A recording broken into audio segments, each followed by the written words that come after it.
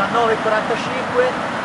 siamo a Certaldo, o meglio, siamo nella frazione di Gallieri nel comune di San Gimignano, fiume Elsa, località La Stoccaia, è arrivata la pioggia e puntualmente è tornata la schiuma lungo il fiume Elsa. Possiamo vedere infatti che si sta formando, si sta addensando lungo questa parte, si va un po' a concentrarsi a ridosso della terra la formazione della schiuma e di questi fenomeni che da anni stanno imperversando nei fiumi della Valdese. Per essere chiari infatti tutta questa acqua che proviene dal ponte di San Galgano, ossia tra Certaldo e Unignano, sta interessando da anni il corso del fiume e non sappiamo quali possano essere le eventuali conseguenze che gli stessi organi competenti però ci rassicurano.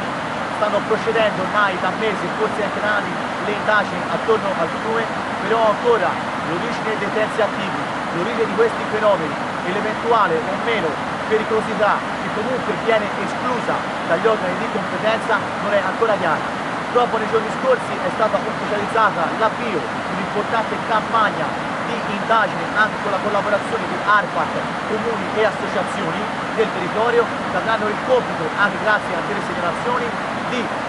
presentarsi sul fiume in caso di segnalazioni anche da parte dei cittadini, poter prelevare un campione di acqua dove è presente la schiuma e avere a disposizione delle strutture che potranno poi consentire ad ARPAT, capofila in questa indagine, di poter indagare sull'origine e la presenza di queste schiume che da anni interessano il fiume